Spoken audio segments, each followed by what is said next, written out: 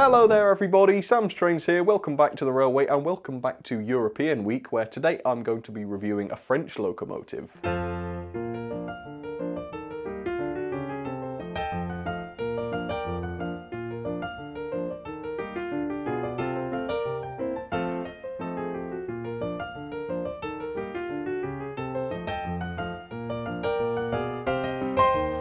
So even though today's model is a French locomotive, it was actually made in Italy by, uh, not by Lima by the way, but by Rivarossi, which is a very well-known manufacturer of model railway stuff.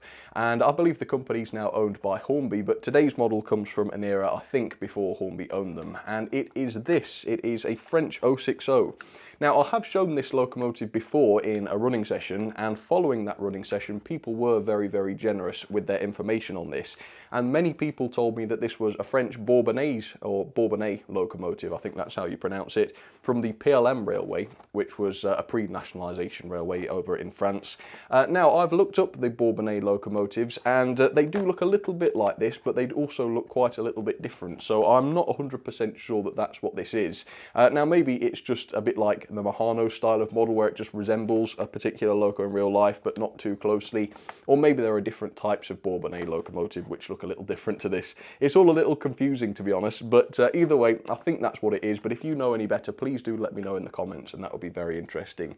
So I bought this on eBay, it is second hand as you might be able to tell by the box and it cost me 60 quid which is a little bit expensive but as I say these uh, Rivarossi engines are really known for their quality so we'll see what this is like and um, well maybe it will form an opinion with me on Rivarossi and it might also influence whether or not I decide to buy any more. So let's get this out together and let's find out what this is like. My first ever Rivarossi and my first ever French locomotive. Alright, so here we go then. Now the box doesn't tell you very much on this model as we're going to see, although as we can see here it does say that it's an HO model, which does make sense. Uh, people always ask me about the differences between HO and 00, and it is a little bit of a, a, confusing subject, but basically the gauges are the same. So HO gauge is the same as 00 gauge, but the scale is very slightly different. 00 gauge is a little bit larger, but you can mix and match between the two, provided of course you don't care too much about absolute scale, because as I say, the scales are a bit different. Uh, but other than that, they are at least compatible, so you can run HO's trains on a 00 track. Okay, so there's, as I say, there's very little to read on the box. If we show you the end of the box, you can see it's just 40, Locomotiva, locomotive, and that's about it. It doesn't show you any more there, which kind of, to me, says how lucky we are over here in the UK because our manufacturers, Hornby, Bachmann, Oxford Rail, Hattons, all of them really, they all tell you exactly what you're getting on the box. But I've noticed with a lot of the, well, now French and American and other stuff, uh, that a lot of the time it doesn't, and you're left having to try and find out what these things are. So, yeah, just a little food for thought. But apart from that, yeah, there's nothing else on the box. The back of the box is blank, as you can see so we're going to get this out straight away and we will take a look. Okay, so this box opens a bit weirdly. It's not very secure. As you can see, it just opens up like that. But I suppose it's easy access, isn't it? Now, what shall we start with? Uh, okay, well, we'll get the tender first then, shall we? So here is the tender. As you can see, it's a really, really tiny tender. And the amazing thing is, you won't believe this, but the motor is actually in the tender. This is a tender drive unit, and it's pretty small. Now, normally, I would say that makes sense, uh, because this loco is pretty small, as you can see. Let's get this out. Um, however, the tender isn't exactly large either, is it? So I wasn't sure when I ordered this, whether or not the motor would be in the tender or not. But no, it is in the tender, and here is the loco. As you can see, it really is a, quite a nice looking thing. Uh, if you particularly like British locomotives, I, I can imagine that some people might not like this because it is quite an oddly proportioned thing, isn't it, to say the very, very least. But yeah, it is quite a nice looking thing. I quite like the unusualness to it, as always. Uh, the, look at the spacing of the wheels, the uh, the proportions of the, the domes and the chimney and things. Yeah, it is an odd looking locomotive, and the loco itself is very, very light, and the tender itself is uh, deceptively heavy, I would say. It doesn't look like it can be as heavy as it is, but uh, it is. And I'll perhaps weigh it later on to show you, well, to tell you just how much it does weigh. So there we go. Let me know in the poll, is this something that appeals to you or not? Because when I put this up in a running session, people said, oh, it's ugly. And other people said, oh, I absolutely love that. So it really does divide people, I think. Um, I think I think it's a bit like the Q1, really. It is ugly, and I can completely agree with people that say that, but uh, I find it quite an endearing ugliness. if that makes sense. It's quite a nice thing to say, isn't it? Um, but yeah, that's what I think. Um, yeah, I'm, I'm, not. I don't. I wouldn't say I absolutely love it, but I, I wouldn't go as far as to say I detest it either. So yes. Anyway, we'll take a close look at this in just a second, but first of all, here's a little bit of history on the uh, French railways and, of course, the uh, Bourbonnais, if that is indeed what this is. So, unlike in the UK, the French actually classified their steam locos by the number of axles and not the number of wheels. So this one would normally be an 060 in the UK, but in France they would call this an 030, which uh, to us British makes no sense, of course, unless you know that it's counting the axles. So as you could probably tell, you might have noticed this loco is in the SNCF livery, which was founded in 1938 when nationalisation occurred in France. So similar to what happened really in the UK when we got nationalised 10 years later. So I think the SNCF is a bit like our British Railways, a bit like BR, and uh, as far as I understand it anyway. Anyway, I'm told that this locomotive came from the PLM Railway and that they were known as the Bourbonnais engines, as I've already said, and they might have been introduced as early as 1857, primarily for goods work. And once again, as far as I understand it, the PLM is a pre-nationalisation railway, as far as I know, so it's perhaps a bit like the LNER or something like that, as we would get in this country. And yeah, as I say, they were supposedly primarily for goods work. And a big thank you to Steam and Smoke 97 for the info on this. That's much appreciated. So there it is up close for you then, the Rivarossi French SNCF 030 tender locomotive. And I think really whether or not you think these are attractive, I'm sure you'll agree that uh, these are certainly interesting looking things. Now, you might not have been able to tell, but I'm, I'm pretty sure that this is quite an old model. I don't know quite how old. Uh, I seem to be not doing very well with uh, finding out information on this thing, but I have a strong suspicion that it probably predates me at the very least. Maybe it's quite a lot older.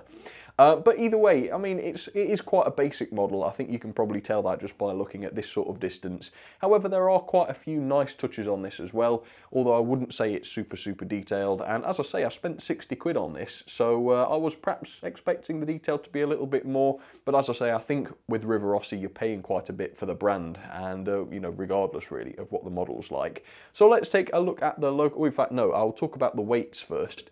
So as promised, I have weighed them, and the tender is very very, very heavy, as I've said. It weighs 110 grams approximately, and that is basically exactly the same as the new Hornby Terrier, and you can see just how much larger the Terrier is than the Tender. So the Tender is very, very heavy.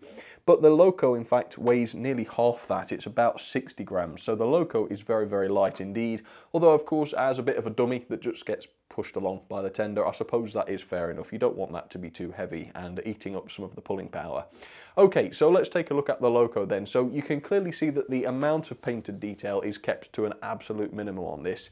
In fact, the only two things I can see is the lettering on the side of the cab. There's a close-up if anybody was interested in what that said. And of course the buffer beam, which also has a little bit of lettering on it there. It's a 3A, as you can see. I think that must have been some sort of SNCF classification. But literally, that is it. The rest of the model is just done in this interesting looking green plastic, uh, which again is uh, not a green that we tended to see on uh, our railways in the UK. It's not really like BR or Great Western Green. It's just, uh, I don't know really how to describe it, but it is different, isn't it? It's more of a sort of military green, I would say, if that makes sense to anybody. So yeah, it is quite basic, and a lot of the detail is just a part of the moulding, mainly the handrails, as you can see, and the pipework. It is all just moulded onto there, but there are quite a few separately fitted parts and it must be said that the separately fitted parts that are there are made of metal. So you've got the reversing rod here as you can see, it's quite a chunky thing, it's not very realistic but as you can see it is clearly made of metal.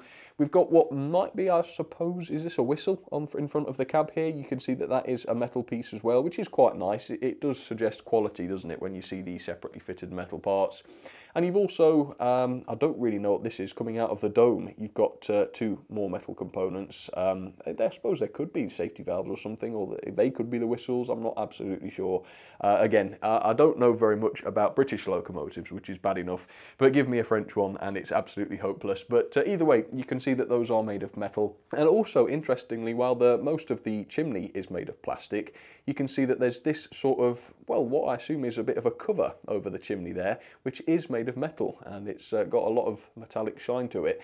Now, I don't really know exactly what that would be for. Uh, I think it's a mechanical thing. I wonder if there's uh, a control inside the cab for it because you've got this uh, sort of mounting underneath it. So yeah, I, I, assume it's some sort of cover that covers up the chimney, maybe to stop dirt or rainwater coming in when the loco's not in use. I'm not 100% sure.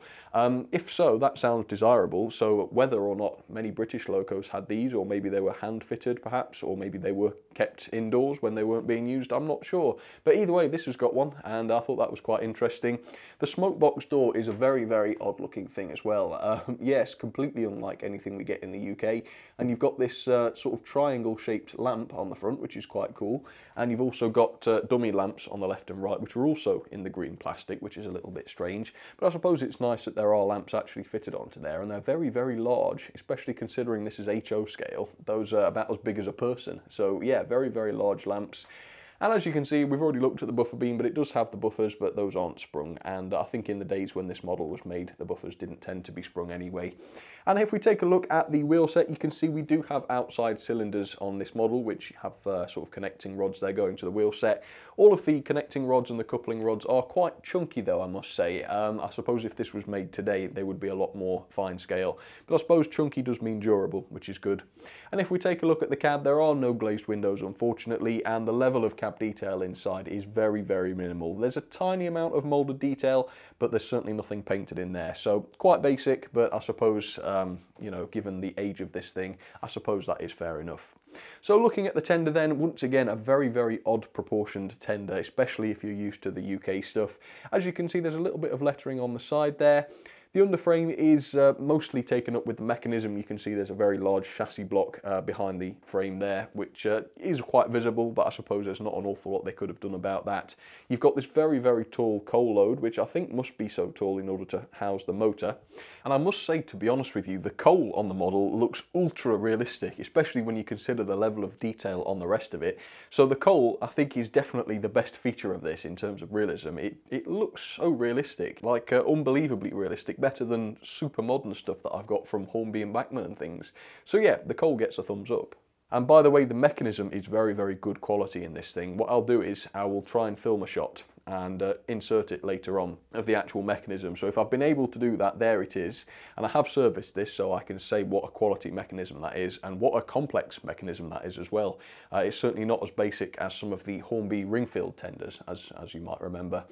Okay, so that's that. And around the back, you can see there's quite a lot of detail there. There's some toolboxes, there's some more printing, and once again, a, relatively highly detailed buffer beam there with, uh, once again, non-sprung buffers. So there's the Loco. I actually really enjoy looking at this because it's so unlike basically anything that I've looked at before. And for that reason, I'm going to say I do quite like this. But either way, I'd be very, very interested to find out what you guys think.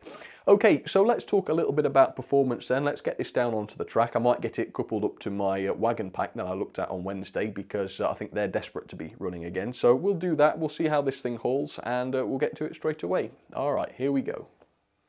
Okay, so there she is then, the Bourbonnais down onto the track, ready for her first little performance test.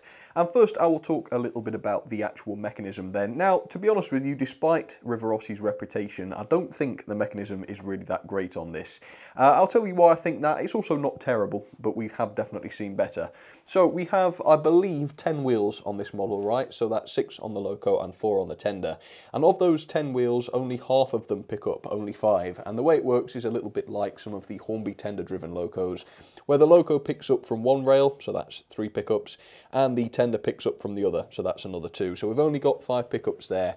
Uh, so that's a little bit of a missed opportunity, of course, and it does mean that the uh, the rail that only has two pickups, the ones on the tender, of course, uh, is a bit of an issue with reliability, especially on express points and that sort of thing.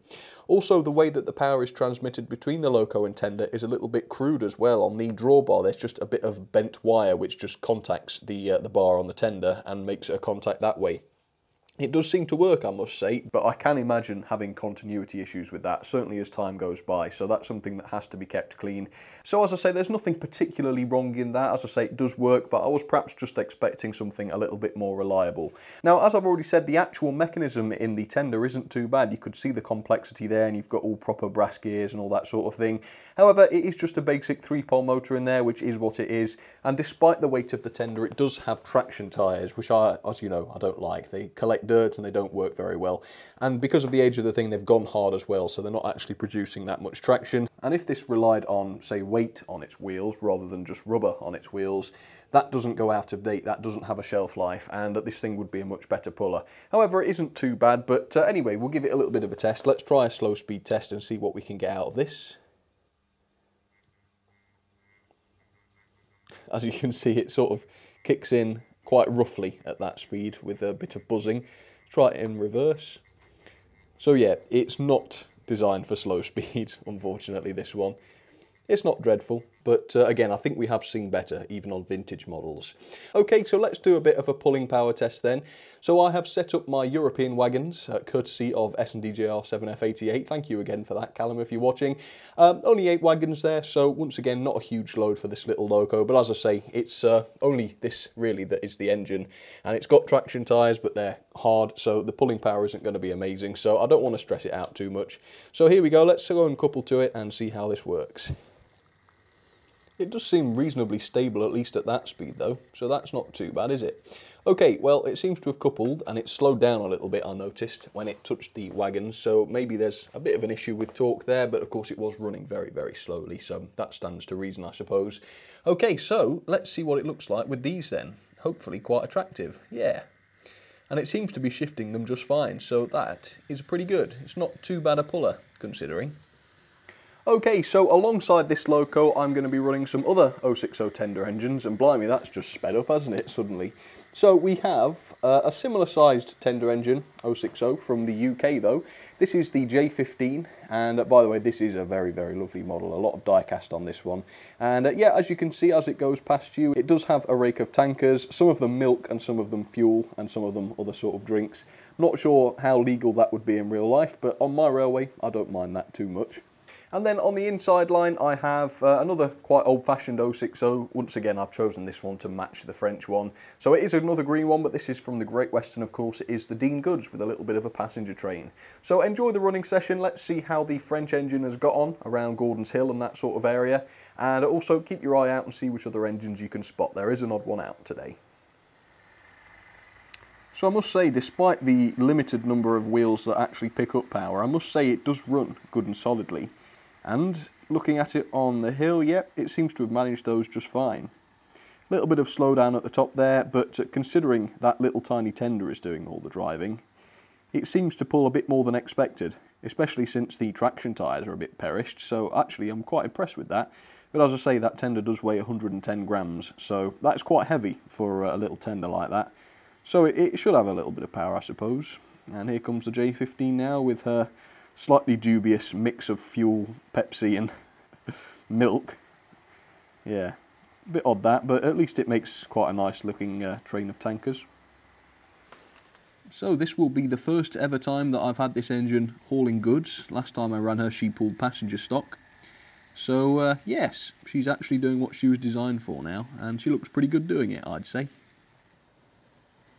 There we have the lovely Hornby J15 there great pull of that one, but as I say, so much die cast on it, it's going to be, isn't it?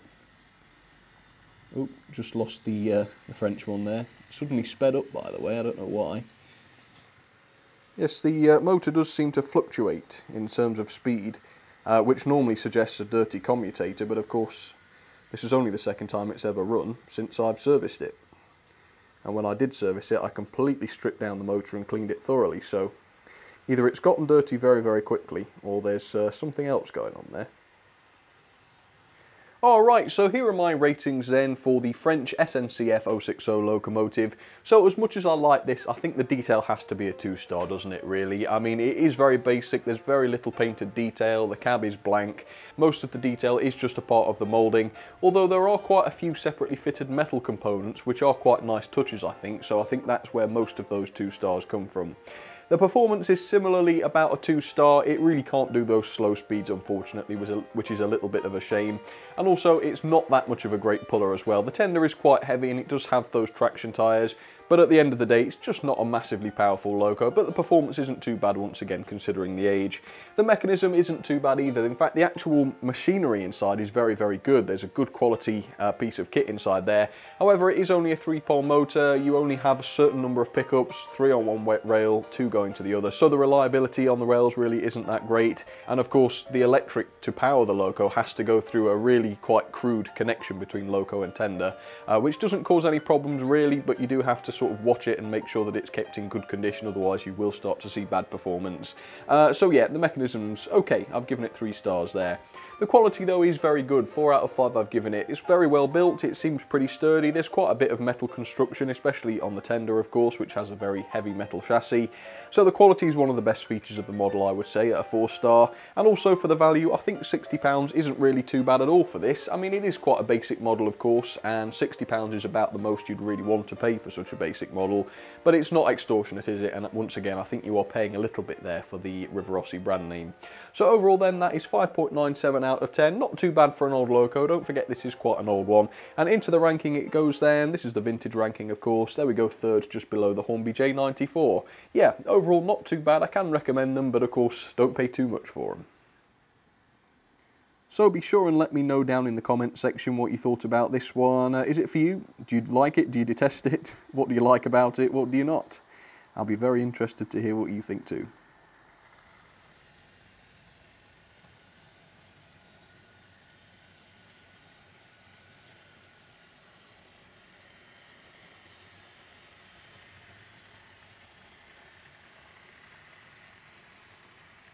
Still loving those wagons. They're awesome, aren't they?